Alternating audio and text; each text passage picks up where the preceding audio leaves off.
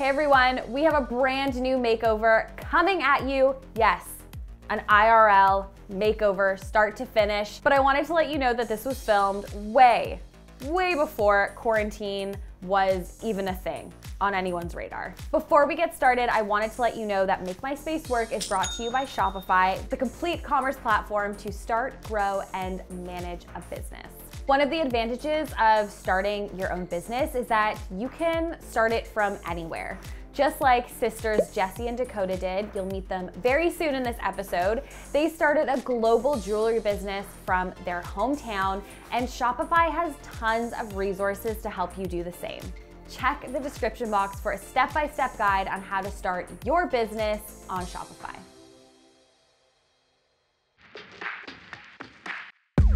Guys, I'm Alexandra, a decor expert. Welcome to my series, Make My Space Work, where I am helping entrepreneurs make over their diverse workspaces. These are people who are building their businesses from the ground up. The last thing on their to-do list is to decorate their office, Today I'm helping twin sisters Dakota and Jesse who own Sapling and Flint. They hand make beautiful jewelry inspired by their Mohawk heritage. Make sure you guys hit that subscribe button down below. We have tons more makeovers coming your way that you don't want to miss. My name is Dakota Brandt and along with my twin sister, we are the owners of Sapling and Flint. We are a First Nations owned jewelry brand that is both online and we have a retail location here in our home community of Six Nations of the Grand River. Jesse is a college trained goldsmith and jeweler and I'm a master regalia maker in the art of Haudenosaunee beadwork. When we initially wanted to start our business, it was a bit of a challenge for us to even begin that because retail locations can be very rare. A business can be here for 20 years before a retail space becomes available. But it was really important to us that we started our business here. Our family's here, we wanna raise our children here. So the second that we saw this location come up, we scooped it up and really just got started on our entrepreneurial journey. So our business is a production business. It's very multifunctional from creating the product to doing the marketing and the shipping of the product to the customer. So if we can make our office space work for us in a seamless manner, that's gonna be really transformational for the operation of our business. So please help me make my space work. When I met Dakota, I was so inspired by all the plans she has for the business. As a small business owner, I too am always thinking 10 steps ahead. The space right now is kind of divided into two. On one side, it's covered wall to wall with this beautiful organized workspace. But then on the other side, tool storage, a workbench, a shipping area, a photo studio, and then there's this tiny little desk in the corner that Dakota really wishes was an area for her to sew at. And as I was planning this makeover, I realized that it might not be filled with you know, as much beautiful decor as you guys are used to seeing, but I do think there's gonna be some practical tips for you guys at home to organize those spaces that have just gotten out of control. Wish me luck, and let's get started. It is prep day. So because this is such a small space, like this is literally the room, the first thing I'm gonna do is take everything out of it. So Dakota is here with me today. She's gonna give away anything she doesn't wanna keep anymore. This is such an important step if you're making over a small space because stuff accumulates over time. And I feel like once you have everything out of a space, you can reconfigure the layout. Okay, so next I'm gonna take these shelves down, which might seem weird because this room really needs a lot of storage and this is functioning storage, but I do have a plan, so bear with me. Dakota and Jesse take photos all the time for social media, for their website, when new product comes in. So I'm taking down these shelves and adding in a little mini photo studio. A tip I have for you guys is to really figure out what your room needs to do for you. Okay guys, the room is empty.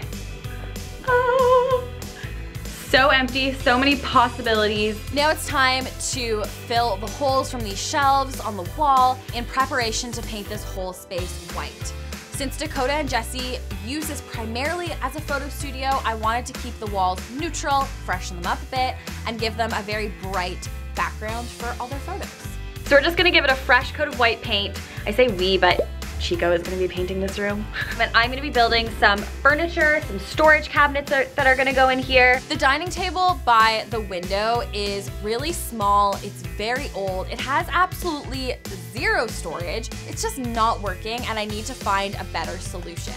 Okay, I also wanna give you guys like a brief glance at the behind the scenes chaos. Just like furniture everywhere. It's getting dark outside. the walls are all painted. That was a very long day. You guys only saw bits and pieces of it, but yeah, we're going to call it a day and tomorrow is the reveal. So it's day two, the walls are dry, the furniture is built, and now it's time to bring everything in. So the first thing I'm gonna bring in is this amazing desk slash sewing table. Because this is such a small space, I really needed to find a work table that did more than one thing. This is a sewing table. It has so much storage, so your thread goes up here, all of the fabrics go in those drawers, and there's even a spot for your sewing machine to be tucked away when you're not using it. This desk is also on casters, so that means Dakota can move it around if they're doing a photo shoot and they need a surface. So if you guys remember before, there wasn't a dedicated space for them to have like a clean surface to ship off of. So I got these four cabinets, stacked them on top of each other, and this is going to be where they ship everything. Before all of their shipping supplies were being stored on the open cabinets over here, it just looked messy. Even though it was organized, there was just kind of stuff everywhere. Closed storage in a small space like this is absolutely necessary. I'm not even gonna say it's an option, it is necessary. I want everything tucked away, and even if they don't keep it organized inside here, no one will know. So Dakota and Jesse had tons of cork boards and memo boards floating around this office. So I thought I just wanted to get them a giant one so that everything is all in one place. This can be their vision board, their reminder board. I'm going to be painting it yellow. Dakota had mentioned that she loves that color and it's really gonna add some life back here. If you're going to paint cork, you wanna make sure you're using a thin layer. You don't want it to sit on top of the cork, you want it to be absorbed. Or else whenever you hang something on the cork, paint's just gonna like fall everywhere. A big part of Dakota and Jesse's business is taking photographs of their product for social media and their online store. So good. And if you guys remember, they were actually using a blackout blind along this wall to take their photos. They also had a softbox that they were placing along the old table back there. And because this space is so small and because it was so cluttered, there just wasn't a designated spot for them to really do anything efficiently. I found this system online. It was actually really inexpensive and is such a great solution for anyone out there who wants to take their own professional photos at home. And there's two slots left so they can put the color of paper of their choice up there. I had to find a solution for all of the camera gear that Dakota and Jesse had stored on those open shelves that I took down. So what I've done is take a floating shelf and reinforced it with two brackets to make sure it's super sturdy. And I'm just storing all of this camera gear up top store things on the wall. It's okay to hang your shelf a little bit higher if it's stuff you don't need to get at every single day. That way you have wall space for decor like photos or this corkboard. So I'm just folding all of Dakota's fabrics and putting them in each of these drawers. And then I'm gonna have a separate area just for her beading stuff. Things that are loose like this work great in storage boxes. I'm labeling them as well so Dakota knows exactly where everything is. I'm hanging a couple of these patterns that Dakota had hanging up on the wall. I thought that this would make really cool art. It's like very alternative, it's different, and it's still functional.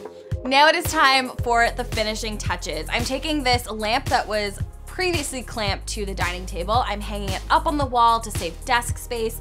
I'm adding a couple plants. I'm putting that sewing mannequin on display. It looks really cool, but it's also gonna be useful. I'm also hanging up Dakota's beautiful beadwork. I hope that these pieces inspire her to keep going with her sewing and her beading whenever she walks into this room. It's time to reveal the space to Dakota. Jesse is away right now, so it's just her. I'm actually feeling really nervous for this reveal. When you need your space to do six different things and work really hard for you, it limits the amount of decor, the amount of kind of like wow factor. I really hope that she likes it, but also notices the way I brought in organization and function to this space. Let's bring her in. Okay, close your eyes and then grab my hand and I'm gonna lead you in. So, before you open your eyes, okay. I want you to picture what your space looked like before. Mm -hmm. Kind of chaotic. Yeah. No real kind of space for all the things you need to do back here. A lot of moving around all the time. Yes. One, two, three. It's so clean. it's so clean in here. Do you like it? Yeah. Look at that. It's a mini photo studio. so in here is all of your shipping supplies. And then I thought you could ship all of your packages on the top of those cabinets. Yeah. And then This is incredible. this is a brand new sewing table. It has so much storage, so all your fabric is in there. Your sewing machine can actually fit in that drawer. So it it doesn't have to stay on the table. Exactly. The biggest difference is to me there's just more square footage on the floor here. Yeah. Just being able to maneuver because there's two of us in here all the time. Pull it up. Yeah. Right on. There's a white one in the back too. So that's where I'm standing right now. And then and then over here, where the mess used to be, there's a new bulletin board here. Put that back That's down. awesome. The photo studio was a hit, and I really feel like it's going to help their workflow run that much more smoothly. And let me know in the comments down below, what would you need in your workspace to be able to work with a family member? And if your office space is in need of a refresh, our contact details are down below in the description box. Thank you guys so much for watching, and I will see you next time. Are you subscribed? She's subscribed. Are you guys subscribed? Okay, one out of three. Very Lottie, they're not subscribed. Are you guys subscribed?